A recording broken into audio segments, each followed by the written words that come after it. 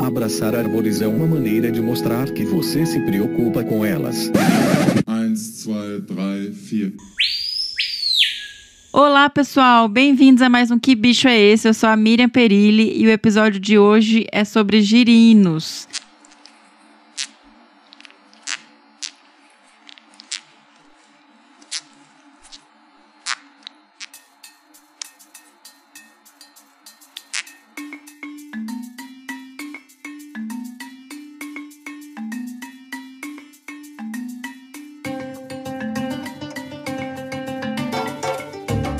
Verdade, a gente vai falar um pouquinho sobre o grupo dos anuros como um todo. A gente trouxe para falar com a gente o professor doutor Luiz Felipe de Toledo Ramos Pereira. E eu só queria explicar, pessoal, que a gente vai abordar de forma um pouco mais ampla, num primeiro momento, o grupo dos anuros como um todo, falar um pouquinho sobre biologia básica, história natural, principais características, trazer essa informação realmente um pouquinho mais ampla, para que nos próximos Que Bicho é Esse a gente consiga focar um pouco mais em espécie, família, etc. Então, esse é o primeiro episódio sobre anuros, a gente vai explicar um pouquinho sobre o grupo de forma geral, tá bom? E Antes de apresentar o professor Felipe de Toledo, eu vou falar um pouquinho sobre como a gente chegou até esse som, que na verdade não foi a gente que a encontrou, foi um e-mail que nos enviaram e eu quero muito agradecer por essa sugestão, que foi um e-mail do Marcos de B. Eu vou ler o e-mail aqui para vocês. Bom dia, espero que este e-mail os encontre bem. Por aqui tudo ótimo. Gostaria de parabenizar pelo fantástico trabalho de divulgação. Me chamo Marcos de B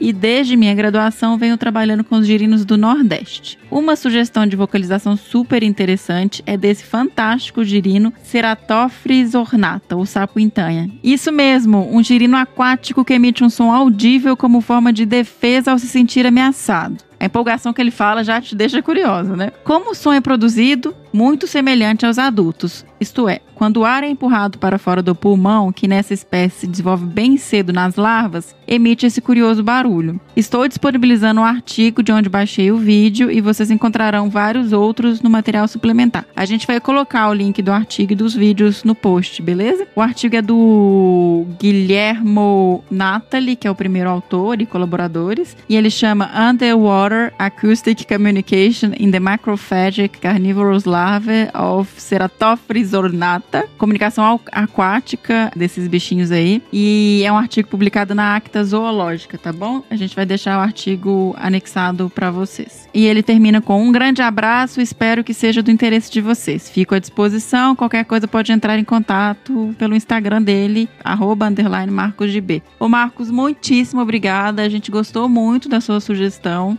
fantástico, é um mundo realmente eu não, que eu não conhecia, de estudo de girinos. É, fico muito feliz que você tenha entrado em contato com a gente. E espero que você goste do episódio.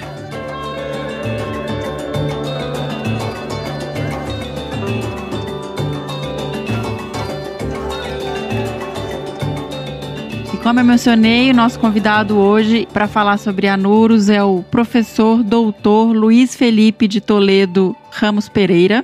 Ele que é licenciado e bacharel em Ciências Biológicas, mestre e doutor em Zoologia pela Unesp, zoólogo com ênfase em herpetologia, atuando em História Natural, Taxonomia, Ecologia, Comunicação, Comportamento e Conservação de Anfíbios. Ele permaneceu como professor do Programa de Pós-Graduação em Ecologia e Conservação da Universidade Federal do Paraná, em Curitiba, de 2007 a 2010, e do Programa de Pós-Graduação em Biologia Animal da Unicamp, de 2008 a 2020. Ele foi idealizador, fundador e editor-chefe da revista internacional Checklist de 2005 a 2008 e bolsista JP FAPESP de 2008 a 2012. Atualmente na Unicamp, ele é professor livre docente de vertebrados, curador no Museu de Zoologia, coordenador e curador da Fonoteca Neotropical e professor do programa de pós-graduação em Ecologia e chefe do Departamento de Biologia Animal tá? Para ter uma ideia aí do currículo do professor Felipe de Toledo. E pra gente é uma honra enorme recebê-lo aqui para falar um pouquinho pra gente. Então bora lá pro bate-papo.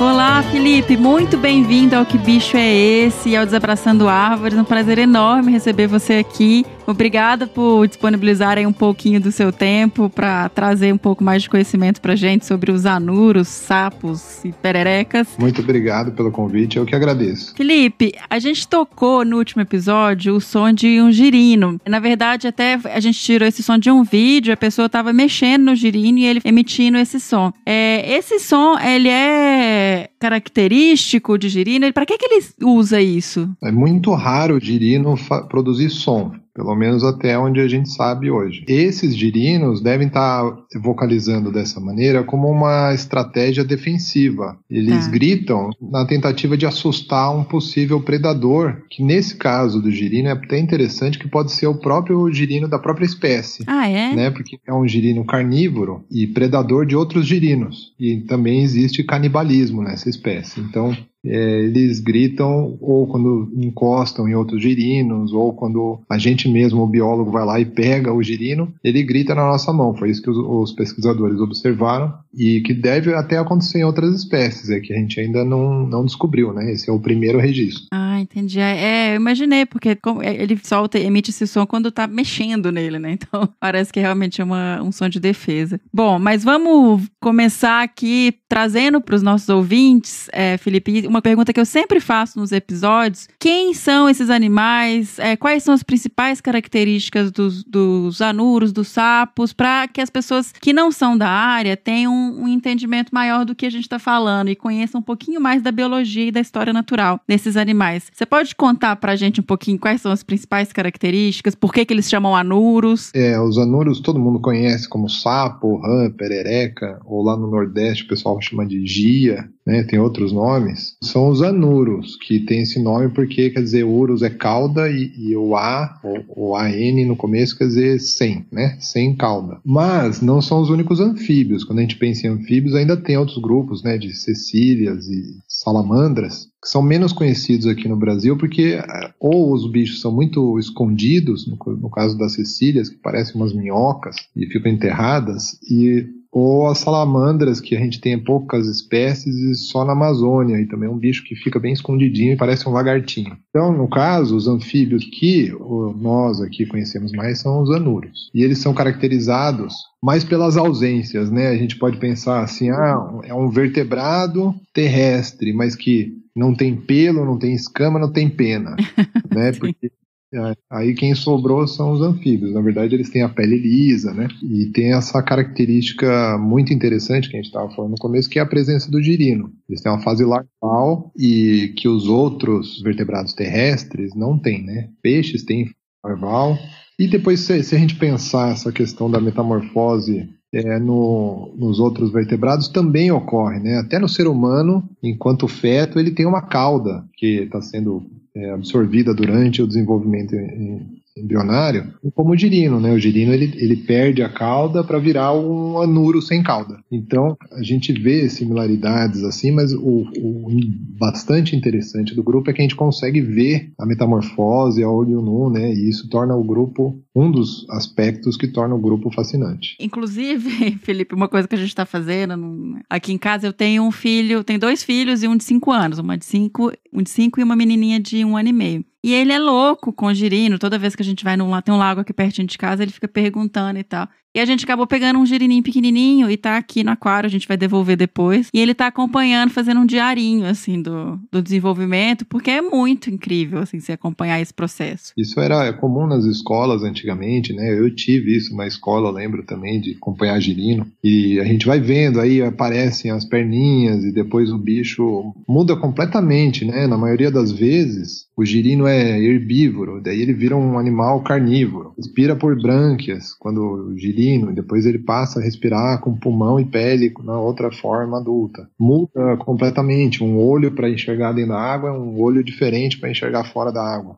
a boca do girino, se você olhar, tem um monte de fileiras de dentes e, e um bico esquisito e, e, muda completamente. Então ele, ele se transforma mesmo completamente, né? E dá pra gente ir acompanhando, se for olhando dia após dia, você vai vendo toda essa evolução gradual do, do bichinho, né? É, isso é muito incrível mesmo. É uma transformação, mas é uma mudança de ambiente, do líquido pro ar. Isso é muito incrível. Como que consegue ter essa alteração tão profunda? Porque, você falou, muda tudo. Muda a questão branca, é pulmão, muda a questão de alimentação. E eu acho extremamente impressionante, assim, tamanho da... Mas também os próprios anfíbios são muito diversificados nisso, porque tem até, por exemplo, alguns anfíbios que não têm mais o girino. Ah, é? Então, por exemplo, tem um sapinho, várias espécies, na verdade, mais de mil espécies, que colocam o ovo no chão da floresta e do ovo já nasce um, um jovenzinho, né? Um, um, sapinho já que é pequenininho, não tem a fase de girino. É o que a gente chama de desenvolvimento direto, né? Não tem a fase larval, que é a fase de girino. Então, eles já são mais independentes da, da água, assim, né? Eles, eles não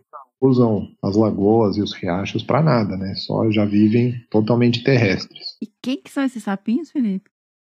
A gente tem uh, os sapinhos, por exemplo, que são emblemáticos, é aqueles sapinhos pingos de ouro. Ah, São sapinhos mais ou menos de 2 centímetros, são bem pequenos, mas são laranja, verde, vermelho, tem vários coloridos e chamam bastante atenção. Assim, tem na Mata Atlântica, é um, um grupinho da Mata Atlântica, né? Sim, o pessoal viu em São Francisco Xavier quando a gente estava lá no, no- ali na, na- Isso, lá inclusive até é uma espécie nova que está sendo descrita, né? Nesse, no grupo dos anfíbios também outra coisa que também chama atenção é o, o alto nível ainda de, de espécies não descritas. Então tem mu- muito trabalho de taxonomia, que é a descrição das espécies acontecendo, e com essa tecnologia, né, biologia molecular e tudo está ajudando a gente a elucidar essas, essas espécies como esse sapinho aí, pingo de ouro, né? E é, é- é impressionante, porque uma outra característica também, o grupo é um grupo muito diverso e eles vivem em lugares também, em ambientes diferentes. Eu, eu tô falando isso até porque o Fernando, que é o, o host do, do Desabraçando Árvores principal, ele chegou a participar da descoberta de uma nova espécie que morava numa bromélia de árvore, assim, um, bem Aham. específico do, de, um, de um ambiente. Tem bromé, tem bicho de bromélia, tem bicho que é especializado em, em bambu, tem bicho de castanha do, do Pará, aquela ouriço da castanha, que é uma coisa que tem lá na Amazônia. Eu mesmo já descrevi um bicho que estava a quase 40 metros de altura, um bicho que reproduz em, em oco de árvore lá na- na- no dossel da, da floresta. Uau. E tem até bicho que vive em lugar congelado, né? Que congela, os bichos congelam por um tempo do ano lá no Canadá. Eles ocupam todos os ambientes, menos o, o muito salgado, né? O marinho. Puxando um pouco para isso, qual que é a distribuição em termos assim globais? Eles vão até essas áreas que tem inverno extremo? Tem aqui no topo dos Andes, nas regiões é, bem frias, né? Como no Canadá, norte do Canadá. E, e tem bicho de deserto também, de lugares quentes. Então eles estão no mundo inteiro, só não na Antártica, né? Mas o resto do mundo eles estão presentes em todos os ambientes. E tem adaptações muito interessantes. Então, os bichos que vivem perto da praia têm uns sistemas de eliminação do sal do corpo. Os bichos que vivem perto de, de áreas que congelam, eles têm um, um sistema que permite que eles fiquem congelados por três meses. Né? Isso aí está até sendo estudado para aplicar criogenia no ser humano. Para a gente Olha poder só. congelar um ser humano e depois descongelar de um certo tempo. Né? É, porque três meses é bastante tempo. Abaixa esse metabolismo. Não, ele fica completamente congelado mesmo. Congela, para até o batimento cardíaco e depois ele volta quando começa a esquentar e derreter o gelo. Mas então é uma série, volta? que é loucura. de adaptações fisiológicas, né? Muito interessante esse caso aí. Então eles têm é, é um grupo muito diversificado e muito que se especializou muito em cada ambiente, né? Tem muitas espécies que são assim que a gente chama de microendêmicas. Ah, só ocorre num fragmento de mata do tamanho de um quarteirão de uma cidade. E aí os bichos são bem especializados mesmo, né, naquele ambiente. Pode ser, então, que tem espécies sendo extintas e a gente nem conheceu, porque se tem esse microendemismo, Pode não, né? Com com certeza. certeza A gente já- tem. É. Com certeza. E voltando só um pouquinho nessa questão da, da biologia básica e, de, do, dos, e ecologia do, do grupo, o que, que eles comem, Felipe? Né? Bom, quando girinos, eles se alimentam são herbívoros e todos os sapos são carnívoros quando adultos, correto? É e não é, porque Ah. assim, nem tudo na biologia tem exceções, Não né? existe um consenso, né? É, então vou dizer, o girino, a maioria é herbívoro, mas tem vários que são carnívoros. Ah, Tem você falou que tem. A gente estava falando é carnívoro. Mas a maioria é herbívoro, come algas, diatomáceas, coisas que tem na, na lagoa. Inclusive controlam assim, a eutrofização do, de lagoas. Agora, os adultos são quase todos é, insetívoros ou que se alimentam de invertebrados, comem insetos na maioria dos casos. Mas a gente tem é, alguns sapos maiores que já se alimentam de outros vertebrados, então eles comem, chega a comer cobra, passarinho, é, rato, outros sapos, né? Eles se alimentam também. E ainda é, tem uma espécie lá no Rio de Janeiro que se alimenta de frutos e inclusive faz dispersão de sementes. Não exclusivamente, ele também se alimenta de insetos, mas ele inclui frutos na sua dieta e é um caso único também no mundo de um, um anfíbio mais onívoro, né? É muita coisa que tem pra gente descobrir, né? Eu não sabia disso. Tem, Anfíbio, e tem, tem sapo. É, parece- É, e tem- parece ter uma rã, inclusive, que come, come grama também na Ásia. Tem, tem, tem um, tem um outro bicho também que se alimenta de plantas também. É, então, até falando, já que a gente tá falando dessa dieta variada, aqueles sapos que têm o veneno, que são aposemáticos, super coloridos, que tem na Amazônia, a alimentação deles que permite é, a produção do, do veneno. Tem uma associação, não tem com alimentação como formiga. Tem, tem do- dois tipos aí de, de veneno. Um que é o que ele sequestra, a gente chama de sequestra do alimento. Então, esse- esses bichinhos coloridos e, e, é, que potencialmente são aposemáticos, depois a gente pode falar sobre esse termo, É, Mas eles é, acumulam as- os alcaloides, por exemplo, presentes nesses invertebrados, nesses insetos que eles comem. E o inseto, por sua vez, capturou esse alcaloide de alguma planta ou de algum outro lugar que ele também se alimentou. É um efeito de bioacumulação. Mas também, por outro lado, existem bichos que produzem o veneno. Uhum. né? Então, tem alguns é, anfíbios que produzem o próprio veneno. O veneno não vem da, da alimentação assim diretamente, como no caso desses que a gente está falando. E também podem ser super venenosos. Podia falar agora então um pouquinho dessa questão do aposemático, de por que eles são tão coloridos, né? O que que isso traz como defesa. É, então, e, e aí o, o veneno, muitas vezes, coloração do corpo, a maioria dos sapos, quando as pessoas vão desenhar um sapo, pede para os filhos aí desenhar um sapinho, eles vão desenhar um sapo verde ou um sapo marrom.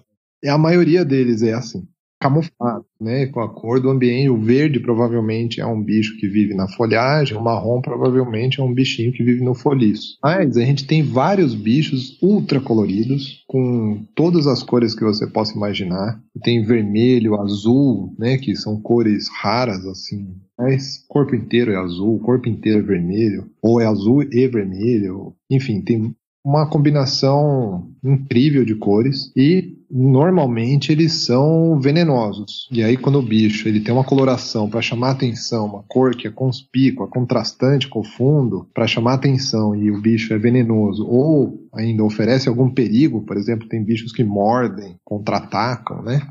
É, é perigoso e, tam, e aí a gente chama de aposematismo. E até, por exemplo, tem um bicho no sul do Brasil que ele é totalmente preto, mas ele vive nas dunas de areia. Então, assim, a nossa intuição falar, ah, é um bicho camuflado, se você olhar só o bicho. Mas quando você olha ele na No natureza, ambiente dele. ele é um preto no fundo amarelo. Então ele é muito visível. Então ele chama atenção, né? E essa a chamar atenção e se você for venenoso ao mesmo tempo é uma estratégia que parece funcionar contra os predadores que enxergam as cores, né? Que conseguem enxergar as cores, que não são muitos. Trabalhei uma época fazendo consultoria na Amazônia e a gente via daquele den- dendrobla, dendro, Dendrobates. Dendroba, é aquele azulzinho, sabe? O, o- um bem Isso. azul com umas manchas. Uhum. E eu fiquei impressionadíssimo, exatamente, porque a gente não tá acostumado a ver bicho na natureza azul. Assim, eu não sei se é borboleta. então, é, eu fiquei super impressionada. E eu falei, bom, e essa cor aí me indica, né? e, Assim, como biólogo, a gente sabe do que o animal tem características de produção de veneno e tal. E tinha uma menina que eu acho que ela era estagiária da Herpeto. E ela ficava pegando no bicho. Eu falei, gente, não deve ser bom isso. E aí, ela, o bicho subiu nela e tal. Gente, ela empolou inteirinha. depois. Ela ficou toda É, vermelha. Eu falei, mas não faz isso. Mas o, o, o que acontece, se você pode pôr- pegar na mão esses bichos, o veneno, ele, o problema dele é se você entrar em contato com mucosa, na boca, olho, entendeu? Aí que vai Uhum, causar Forte. uma tem, mas tem algumas espécies que são realmente perigosas de, de manusear, né? Tem um bicho que é o, o conhecido como o pior veneno da natureza, é de um sapinho da Colômbia. O nome dele é Philobates terribilis. E normalmente os índios e tal que costumam pegar o bicho, eles pegam com folhas assim para não pôr a mão no bicho. E aí porque ele tem uma concentração muito forte mesmo, pode chegar é, facilmente matar uma pessoa. É, e tem o- também o ponta de flecha, né? Que eles usam pra. São esses aí mesmo. Eles pegam o veneno desses sapos e, e na tradição indígena passam na ponta da flecha para facilitar a caça, né? Mesmo que o cara tira a flecha lá na, na perna do porco, vai ajudar a, a capturar o bicho mais fácil com o veneno. E tem bichos que causam irritação. Aqui na região do, do Cerrado, nas áreas abertas do Brasil, a gente tem essas rãs pimenta, que as pessoas muito caçam. Quando antigamente, né, os nossos avós falavam assim, ah, vai caçar sapo, caçar rã, né? Eles iam caçar esse bicho para comer, porque é um bicho grande, carnoso e, e saboroso. E chama rã pimenta porque causa uma alergia. Eu mesmo já tive isso. Se você manusear muitos bichos desse, você começa a espirrar, tem uma alergia muito forte é, para algumas pessoas. E por isso que tem esse nome de pimenta, né? Parece que jogaram pimenta no seu olho. Falando de olho, falando dos nossos avós, eu cresci muito perto de área rural escutando que não podia pegar em sapo porque fazia xixi no olho.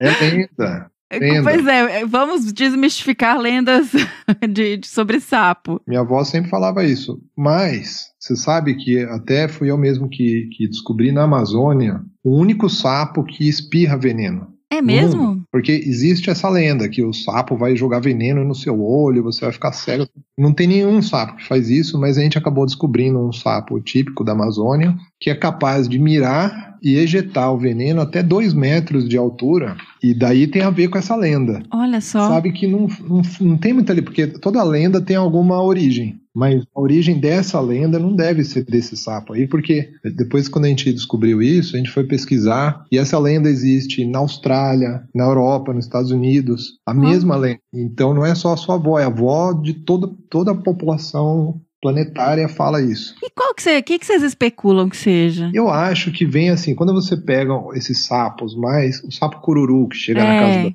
Uhum. pessoas. Às vezes, quando você pega ele na mão, ele faz xixi. E esse xixi, ele é 90% água e não faz mal nenhum. Não tem veneno. Então, é uma outra estratégia defensiva só para assustar você, de repente você soltar ele, tá? É quase, basicamente, só água. Então, eu acho que vem daí essa lenda, na verdade. Os sapos que chegam perto das casas das pessoas, esses sapos grandes, têm esse comportamento, outro comportamento defensivo, que é urinar quando você captura. E aí as pessoas podem ter associado isso ao medo, né? Daquilo ser venenoso, mas não é. É, Se você não mexer no sapo, a não ser que seja esse único específico lá da Amazônia, que provavelmente ninguém vai encontrar, é, não vai, não vai ter problema de.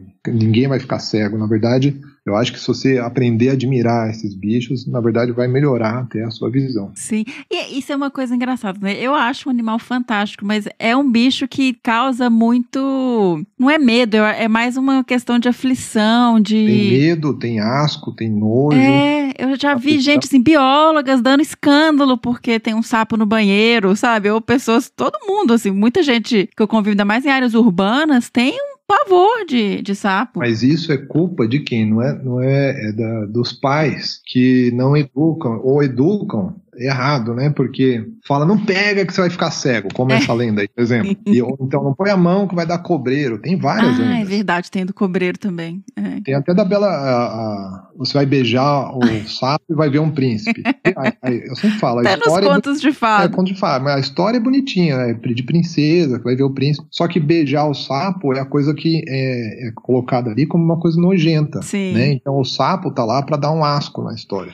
Exatamente. Mas não é. Eu acho assim, se a gente continuar propagando essa cultura ou essa desinformação, a gente vai continuar achando que eles são nojentos, não sei o que lá. Então, eu acho que vem daí, é um pouco dos pais colocarem medo nas crianças, até porque quem tem crianças sabe que se você não falar nada, eles vão achar legal, vão querer pegar os sapos. Você vai no YouTube, tem um monte de vídeo de criança pegando sapo e achando que é legal. Para criança é tudo novidade, tudo incrível, né? Sapo, aranha, besouro, formiga, não tem muito isso. É a gente que. Mas eu acho que no caso dos anfíbios, a gente tem essa oportunidade de educar um pouquinho melhor nesse sentido, até porque os bichos estão muito ameaçados e é, é muito fácil você fazer um projeto de conservação da onça pintada, porque já é pelo que as pessoas ah, um, é um gato, né? É bonito o bicho, não sei o que lá, grande. Fofofauna.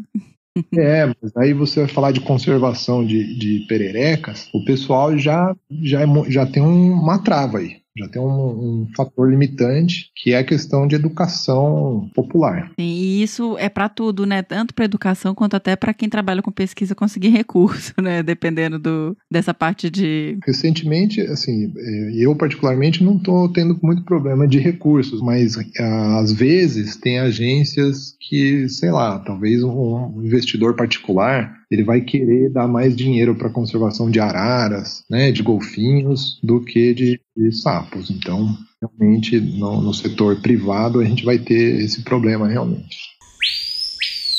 Felipe, vamos falar um pouquinho da reprodução desses bichos, como que funciona, como é que eles se encontram, essa questão até aí a gente entra um pouquinho na parte de comunicação, né, de dessa uhum. vocalização, como que eu imagino por ser um grupo diverso que você tenha diferentes estratégias que possam variar, mas assim, qual é o, o principal, assim, como funciona? A reprodução em anfíbios é, é uma das mais diversificadas é, dos, dos. Eu sempre falo de vertebrados porque é, é isso que eu dou aula na faculdade, mas ela é muito diversificada e tem, por exemplo, que nem eu estava falando, tem espécies com girino e sem girino. Essa é uma primeira variação. O, o, modo básico é esse que todo mundo conhece. Um sapo canta, atrai a fêmea, eles botam ovos na lagoa, e do ovo nasce um girino e o girino vira um sapinho. Isso é o que o pessoal conhece mais comum. Mas aí, por exemplo, se você mudar qualquer um desses estágios, por exemplo, ah, em vez de você botar o ovo na lagoa, é botar o ovo no riacho, ou botar ovo numa bromélia, ou botar ovo dentro de um bambu. Isso aí vai variando os, o que a gente chama de modos reprodutivos. Tem aqueles bichos que incubam os ovos nas costas, que inclusive é outra coisa que dá aflição para algumas pessoas. Tem espécie que eh, engole o ovo e o girino se desenvolve dentro do, do saco vocal, que é aqui na região do papo dos machos, é, dentro do corpo do bicho, né? É, então tem uma variação muito grande de, desses modos reprodutivos. Né? Hoje em dia são mais de 40 modos diferentes e ocupam vários ambientes diferentes para fazerem isso também. Então, assim, até agora só vou falando um pouquinho mais dessa questão de comunicação, porque o som de, da vocalização do sapo ela é muito alta, né? Qual que é o mecanismo que eles têm para vocalizar, para amplificar esse som, para ter toda essa comunicação? E aí, até dentro disso, existe um repertório de comunicação para reprodução, para, sei lá, defesa, para outras características é, comportamentais? Existe. Então, é, eles pro, uh, são conhecidos né, pelo quachar, pelo som que eles produzem. Esse normalmente é produzido pelo macho somente, quase todas as espécies só o macho que vocaliza. E eles vocalizam para atrair fêmea, é o principal motivo.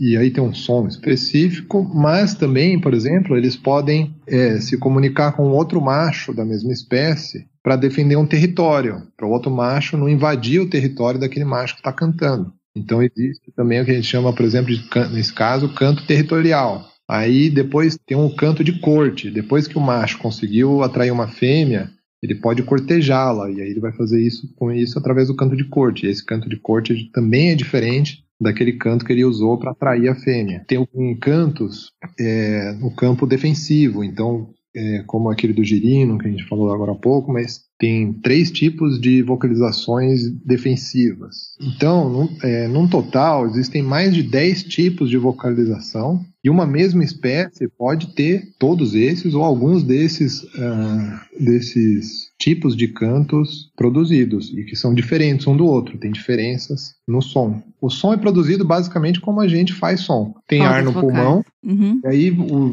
a musculatura empurra esse ar, vai passar por, pelas uh, membranas vocais, e um pouquinho diferente, não é corda vocal, é membrana, no caso tá. dos sapos, uhum. e, e vai produzir o som. E, o som, e esse ar vai para aquele saco vocal, que é, que é aquele balãozinho que infla embaixo da boca deles, mas depois esse ar volta para o pulmão é, normalmente não produz som quando ele volta, ele produz som quando ele está saindo do pulmão, passando pelas membranas. Esse é o sinal que a gente chama de acústico. Mas não é só esse tipo de comunicação que existe no, nos anuros. Eles podem ter comunicação visual, química, tátil, uhum, tá. outros sentidos. Então, por exemplo, no caso visual, tem bichos que fazem gestos, né? Levanta a perninha, ou, ou infla o saco vocal somente, ou abre a boca. Tem vários é, movimentos que são sinais visuais que eles usam também para comunicação. Existe, existe comunicação de toque, o tato, né? Um, um, macho pode encostar na fêmea e isso pode significar alguma coisa. E tem também comunicação química, que é muito pouco estudada, mas deve ser muito utilizada por esse grupo, que a gente tem pouca gente trabalhando com isso. Pode ter feromônios, pode ter demarcação de território quimicamente. Então é um,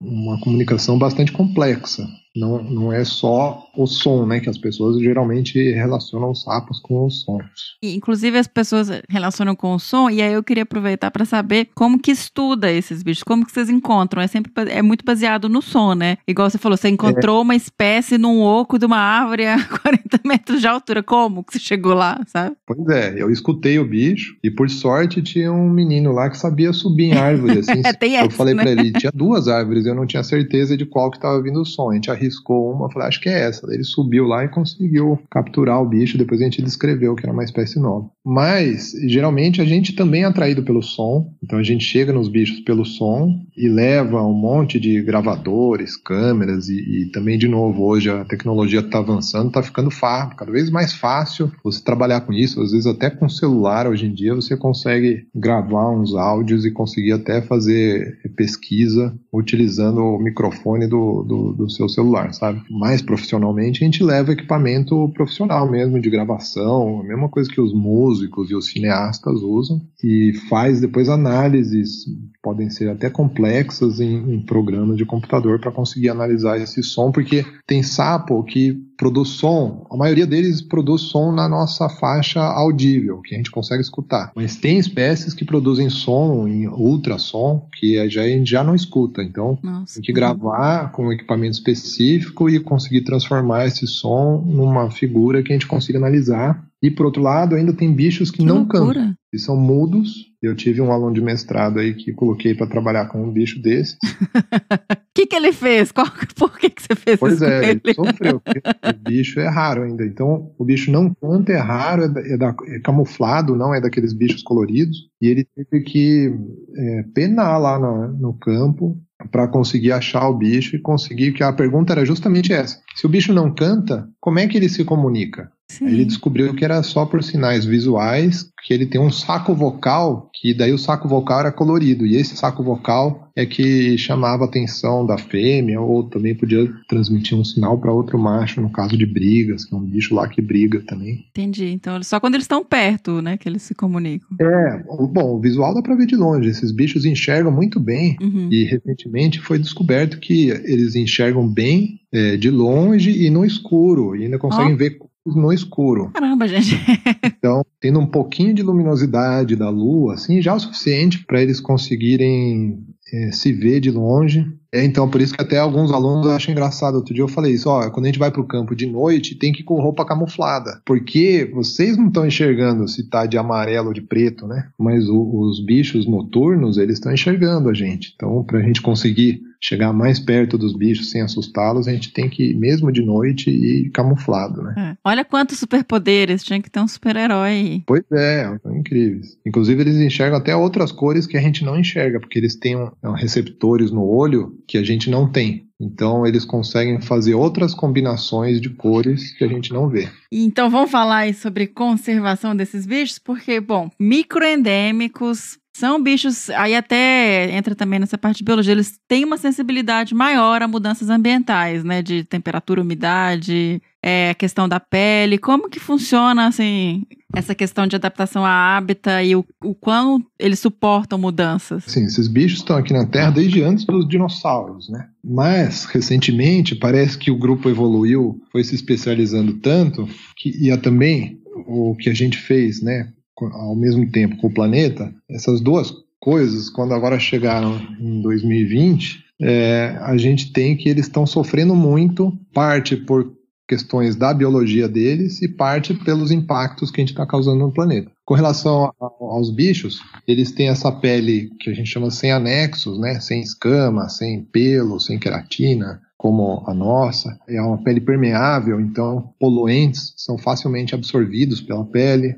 Esse é um dos problemas. Também eles não têm uma proteção tão boa contra a radiação ultravioleta, que tem aumentado recentemente. Por outro lado, ainda como eles vivem tanto na água como na terra, eles estão suscetíveis aos dois impactos. Se você poluir a lagoa, aquela espécie que precisava da lagoa para pôr os ovos não vai conseguir sobreviver. Uhum. E se uhum. você polui ou destrói a floresta na terra firme, também aquela mesma espécie vai sofrer, mesmo que você preserve a água. Então, essa vida dúbia deles, né, ou anfíbia, anfíbio quer dizer duas vidas, também é uma outra característica que torna o grupo um pouco mais é, vulnerável.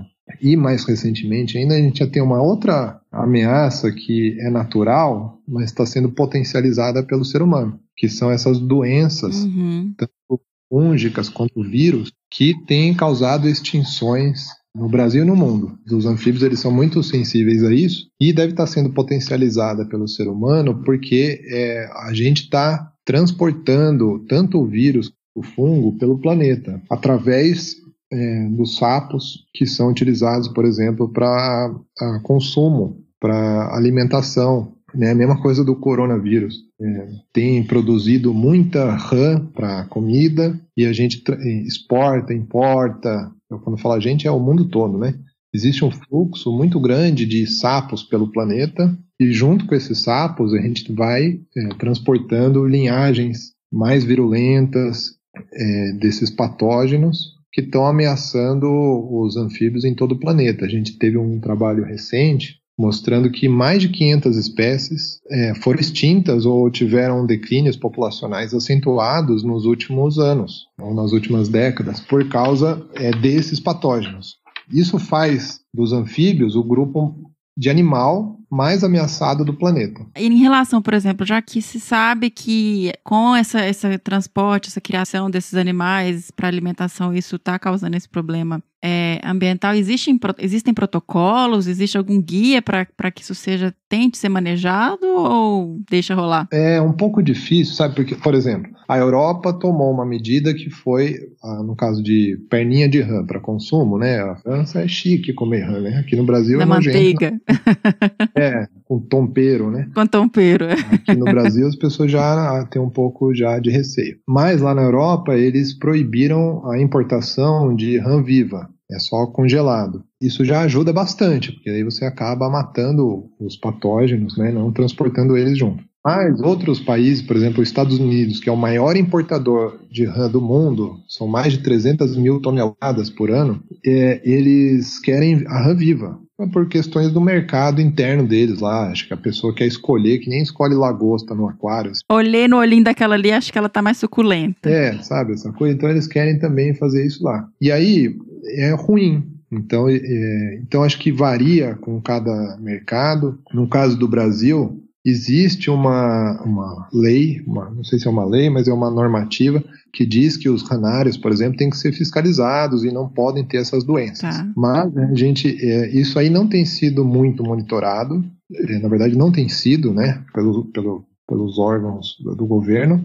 A gente mesmo, como pesquisa, tem é, feito uma análise desses ranários e está detectando os patógenos em praticamente todos os ranários.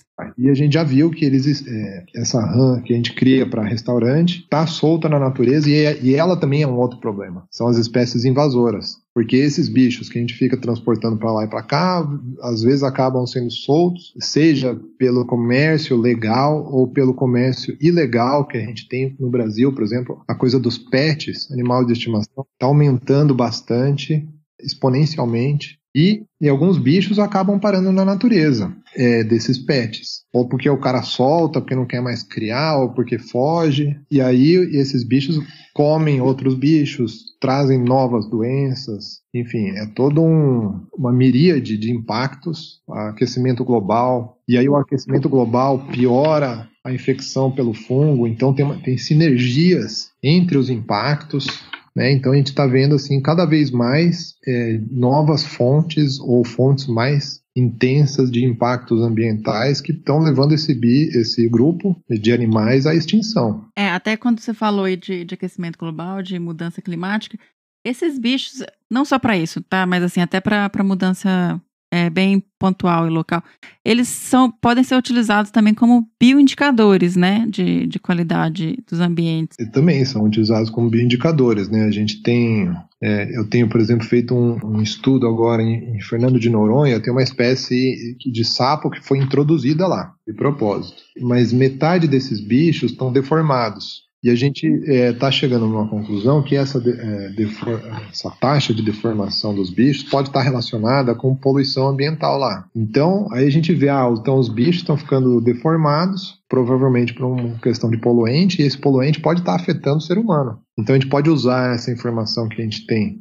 é, de alguma coisa que está acontecendo com os anfíbios, né? Nesse caso não letal, né? Os bichos estão vivendo só que deformados e isso pode ser utilizado como um, um bioindicador aí, como você disse. Ou a outra questão é, é o que você falou, ah, os bichos estão sumindo, estão morrendo. Aí a gente pode tentar então ver os locais onde eles estão morrendo e também utilizar como bioindicadores, né? Uma visão assim mais prática, né? Uma utilização prática do, da informação. Como você falou, a gente é, é, o grupo mais ameaçado atualmente, com tanto por poluição, mudança climática. Agora eu fiquei sabendo até por pet, eu não sabia que, eles, que anfíbio era usado como pet. E como é que funcionam assim, no Brasil, por exemplo, só para as pessoas terem um exemplo das espécies descritas, porque a gente já, já falou aqui que algumas já provavelmente, muito provavelmente, ou com certeza, como você falou, já foram extintas antes de serem descobertas. Uhum. Quantas espécies estão ameaçadas, por exemplo, no Brasil hoje? Só para dar uma noção do, do, da gravidade do problema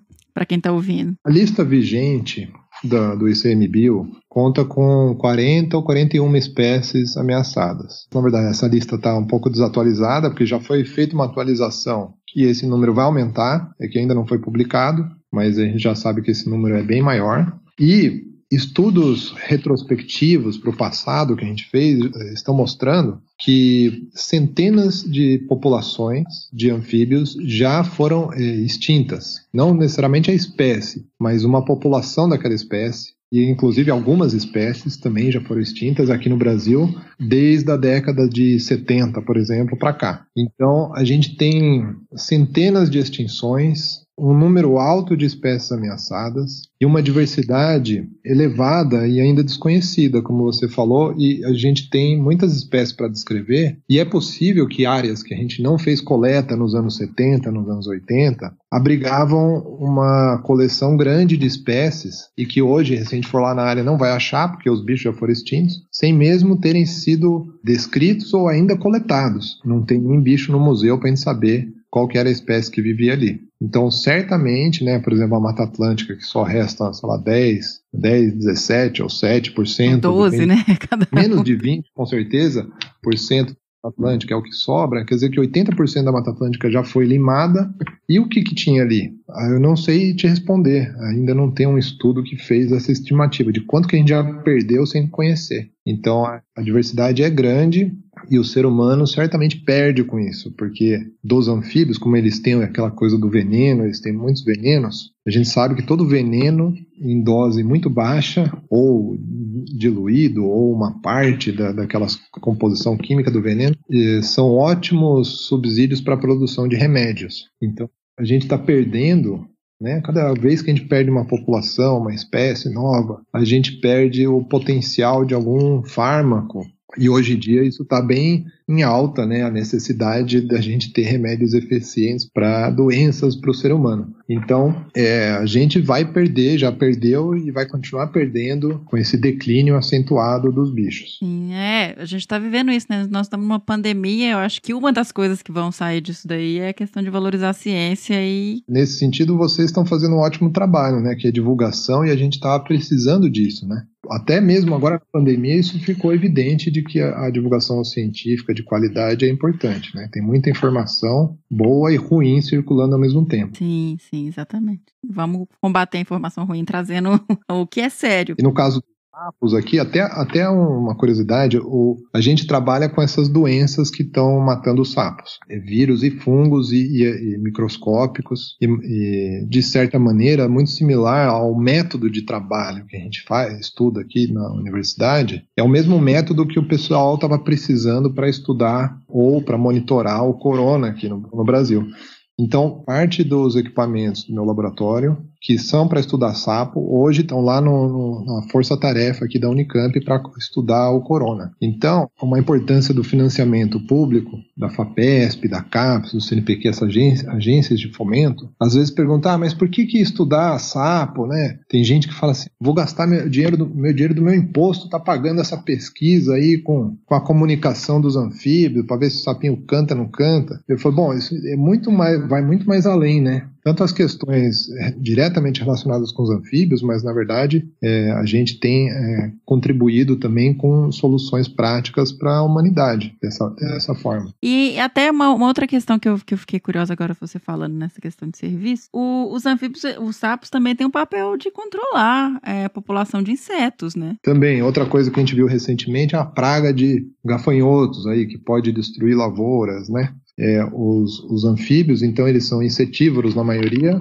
podem sim controlar insetos. A gente tem casos na Índia em que os sapos foram muito coletados para consumo, para as pessoas comerem sapos, e depois eles tiveram essas pragas de insetos destruindo as plantações. Então ali ficou bem claro que é, os, os anfíbios controlam não só esses insetos de plantação, que é o motivo também da introdução do sapo lá em Fernando de Noronha, levaram para controlar a praga de plantações lá em Noronha, mas também insetos vetores, né? Os, os larvas de mosquito, desse dengue, chikungunya, zika, não sei o que lá. É, todas essas esses mosquitos também fazem parte da dieta dos anfíbios. Então, seja dos girinos que comem as larvas ou dos adultos que potencialmente podem comer alguns pernilongos. Então, é, eles são também importantes nesse controle de, de, besouros, né, que também transmitem outras doenças. São itens constantes e muito numerosos da dieta dos sapos importante nesse sentido também. Voltando rapidamente aqui antes da gente encerrar a parte de conservação, é um desafio enorme conseguir conservar esses bichos, porque tem muitas das causas são difíceis de controlar, né? É. São. A gente tem dificuldade hoje em dia. As piores causas são o desmatamento, e isso é muito difícil controlar, certo?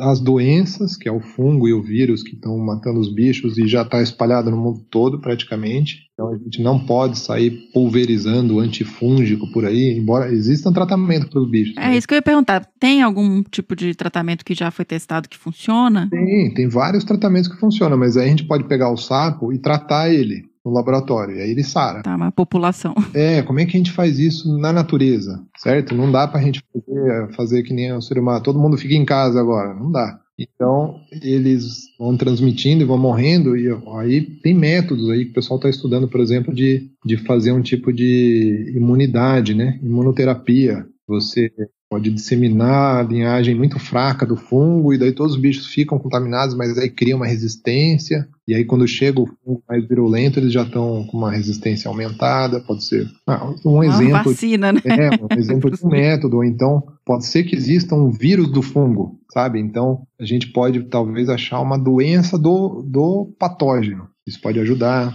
ou um predador do patógeno, e essas coisas podem existir. Então existem agora o aquecimento global, como é que a gente faz, né? Porque o sapo vai continuar tomando sol e ele não vai passar o sundown. Então ele vai ter problemas, células mutantes ou vai morrer cozido, né?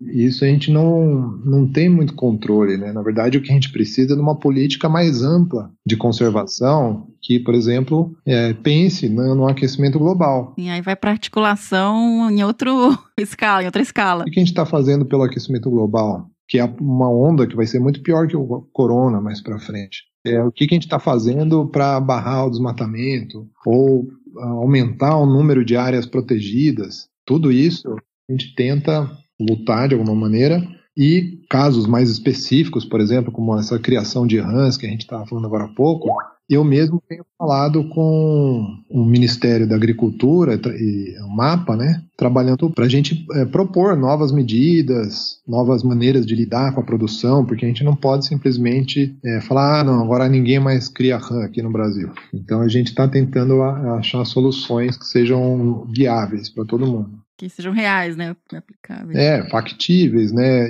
Não dá para ir contra o desenvolvimento da, da sociedade, né? Idealmente, eu falaria, o, o problema de tudo é, é, é, o número de ser humano no planeta. Ah, então, nós vamos falar de controle populacional, é um tema super polêmico, mas deve ser, deve ser conversado, sabe, com, com relação a, a espécie humana e o que, que a gente vai fazer. Eu sei que você tem duas filhas, né? Eu tenho um, filho e uma filha. eu tô aí na. Não tô te recriminando, mas estou falando assim, a gente, enquanto espécie, deveria pensar nisso, porque a gente é uma praga aqui, é uma espécie invasora em vários ambientes, né? Eu concordo. E então, parte da, da, do declínio dos anfíbios é por conta da superpopulação humana. E a gente tem que também tratar desse assunto.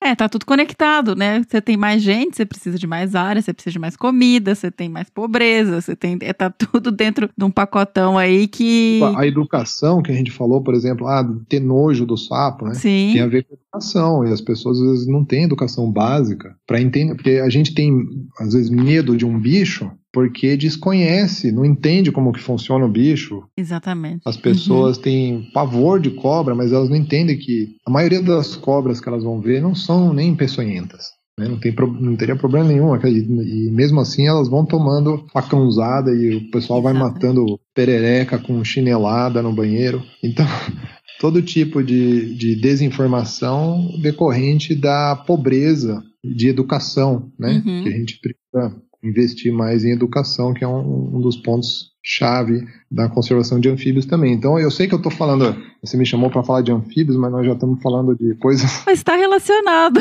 É o que precisa ser feito, né? É o que precisa ser feito, porque é lógico, eu aqui vou trabalhar em, em prol de causas muito específicas. Ah, eu pego aquele sapinho que só eu sei o nome, que vive lá naquele matinho lá, e eu que vou saber é, tomar decisões específicas para aquele bicho lá ou para aquela localidade específica. Mas as atitudes que mais vão beneficiar a gente no futuro são essas de, de ampla escala. Com certeza. Igual você falou, a gente está falando de uma, um tema além, mas está tudo interligado. Por exemplo, me perguntaram recentemente se eu achava que a divulgação científica ia resolver o problema da conservação. Eu falei, não, é uma ferramenta, é um pedacinho que vai resolver o problema. É isso, é diminuição da população, é, é igualdade social, é distribuição de renda, isso. educação de base.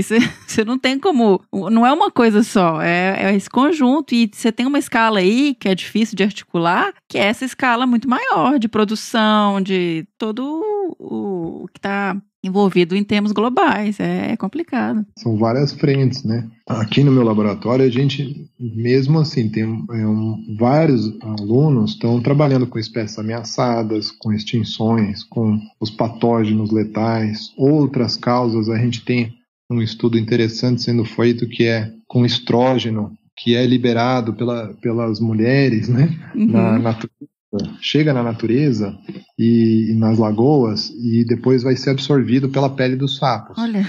E no caso de algum um grupo de sapos, esses sapos cururu, uhum. machos, uh, podem virar fêmeas. Que isso? Quando em contato com estrógeno. Porque o estrógeno faz com que um, uma, um órgão que estava é, quiescente dentro do sapo, ele vai se desenvolver e vai virar um ovário. E o testículo vai virar um ovário. Nossa, tô chocado. E, e isso tem consequências para a população, claro. pra, inclusive para a suscetibilidade a doenças, porque Quando tem contato com o estrógeno também o bicho fica debilitado em algumas, de algumas maneiras. É um outro tipo de impacto aí, um outro tipo de, de poluente é, de origem antrópica que também está afetando os anfíbios. Que loucura, gente. Você vê como é diversificado, né? Anfíbios é, é muito, se você for estudar outros animais de grande porte, né, os vertebrados, assim, eles não têm essa plasticidade que tem os girinos, os, os anfíbios, desculpa. Por eles serem tão diversificados, terem tantas espécies, no Brasil são mais de mil espécies, mais de 1.100 espécies já, e ocuparem todos os ambientes e, e de diversas maneiras que eles usam os, os ambientes, isso aí eles estão suscetíveis a múltiplas fontes de impactos. Então é um campo cheio de estudo e cada dia a gente está vendo é, novidades interessantes aí nessa área. É, inclusive, queria até. A gente tem um público grande de estudante, Felipe. Tem bastante coisa para saber ainda, né? Sobre esses bichos, quem tiver interesse em estudar mais. Não me procure, porque eu já tô lotado. Não vamos deixar o contato do Felipe no momento. Eu realmente, tô, eu tenho, o meu laboratório é muito grande, mas tem muita coisa para fazer, é um campo estimulante, né? É, eu recebo mensagens de alunos querendo trabalhar com isso quase que semanalmente. É mesmo. Então, eu fico feliz de ter essa procura, porque a gente está precisando mesmo formar mais pessoas nessa, nessa área, uhum. trabalhar, que é um problema sério, e o difícil depois é essas pessoas conseguirem emprego, né? Do jeito que está o Brasil caminhando com essas questões políticas de universidades, incentiva a pesquisa e, e, a, a, docência, né, mesmo, né, o uhum. professor, é, a gente precisa ter mais estímulo porque é um assunto que realmente, é, embora as pessoas não saibam, é, impacta a vida delas. Perfeito. E é isso aí, elas, você não precisa saber tudo, mas você tem que saber que isso tem estar tá relacionado com sua sua vida, né? É, as mulheres, por exemplo, sabe que é? Por, por, exemplo, eu uso um exemplo que é o teste de gravidez. Esse que vem de farmácia, né, do, que, da fitinha, da que fitinha, muda de cor. É, isso no, no, até há pouco tempo atrás, na época dos, dos nossos pais ou avós, era feito com sapo. Né? Então isso foi desenvolvido hum, através é dos anfíbios. A gente tem um, umas, uma fêmea de, uns, de uma espécie de sapinho que fica na água e você poderia coletava a urina da, da mulher e injetava no sapinho. Ele ia, ele ia ovular, fêmea ia ovular, é, e aí queria dizer que a pessoa estava grávida. Que isso? não, que loucura. É, isso era comum até. Aqui, até aqui na Unicamp era feito esse teste. Então a gente tinha os anfíbios para fazer esse teste, que hoje aí virou o teste da fitinha. Então às vezes as pessoas nem sabem, né? Nunca vão saber, ah, não sei, não sabia que tinha essa coisa, a fitinha veio daí. Ou outros remédios hipertensivos que estão sendo produzidos com os venenos dos sapos. Então, às vezes, é, tem um, um, remédio que às vezes as pessoas usam que chama Captopril, que vende na farmácia, é feito com veneno de, de cascavel, mas as pessoas não sabem. É, dessa importância da biodiversidade para farmacológica é, também. Tem né? esse, esse potencial é grande num grupo de animais venenosos. Então, tem muitos venenos e que essa parte química nunca está é, tá muito pouco estudada. Eu te falei, tem mais de mil espécies no Brasil, a gente estudou o veneno de quantas? Nossa, é verdade, é um potencial enorme, enorme. É enorme, foram muito poucas espécies estudadas. Então, é um campo imenso para estudar. Nossa, que, que interessante, Felipe. Muito obrigada. Estou impressionadíssima, porque aprendi um monte de coisa nova aqui que você trouxe para gente. E eu só tenho a agradecer enormemente por você ter topado participar e trazer tanto conteúdo, tanta experiência, tanta informação é, bacana para os nossos ouvintes. Legal, espero que o pessoal goste. Obrigado pelo convite novamente. Muitíssimo obrigado. Obrigado. Tchau, tchau. Tchau, tchau.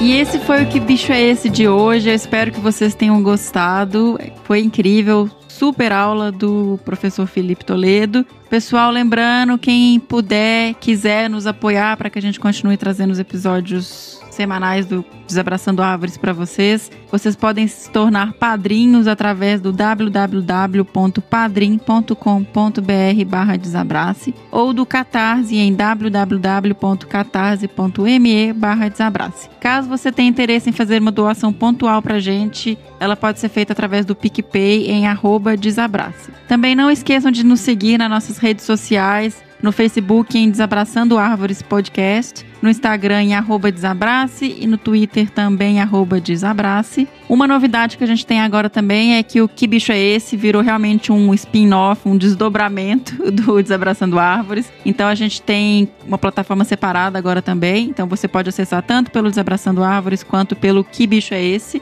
simplesmente. E aí já tem todos os episódios disponíveis lá para que você escute. É, lembrando sempre, fique em casa se você puder tiver esse privilégio. A situação ainda não melhorou, estamos numa fase muito grave aí com o Covid-19. Então, se puder, fica em casa. Beijão, até o próximo. Que bicho é esse? E, pessoal, olha, quase que eu me esqueço. Quem souber qual foi o bicho que tocou no último episódio, escreva para bicho@desabrace.com.br, tá bom? Brigadão, até.